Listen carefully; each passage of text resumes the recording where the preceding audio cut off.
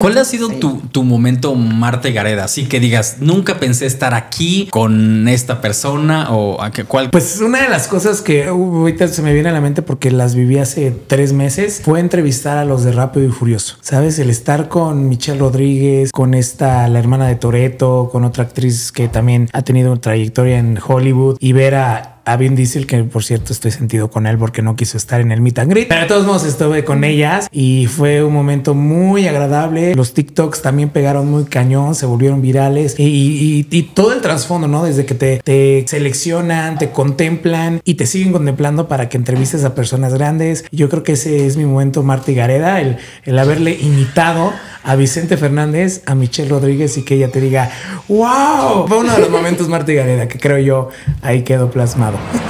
¿Cuál ha sido tu, tu, momento Marta y Gareda? Así que digas, nunca pensé estar aquí con esta persona o a qué cuál. Marta y Gareda. Pues una de las cosas que uh, ahorita se me viene a la mente porque las viví hace tres meses fue entrevistar a los de Rápido y Furioso.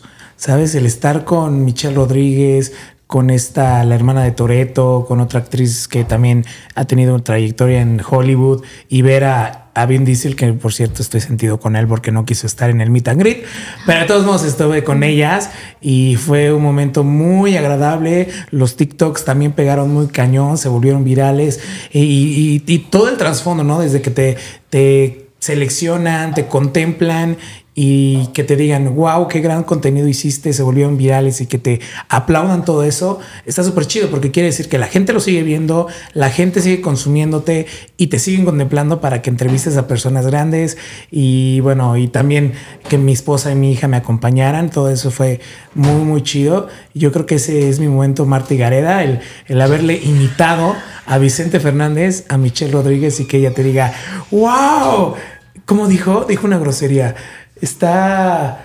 Está cabrón. Siempre dice eso. si, si, no me equivoco. Ah, ya, me, ya me bajaste tú. ¿Cómo, que siempre dice eso? No, o sea, Gracias, en, en, las entrevistas se tropieza y dice, wow, está cabrón. O sea, es muy común que lo diga ching. Creo, y es que lo he visto en varias entrevistas que dice algo así como, no, que cabrón. Algo así, ¿no? Ah, ya. Ah, no, el mío fue, oh, está cabrón. No, es, diferente, es diferente. Es diferente. Fue uno de los momentos Marta y Gareda que creo yo ahí quedó plasmado.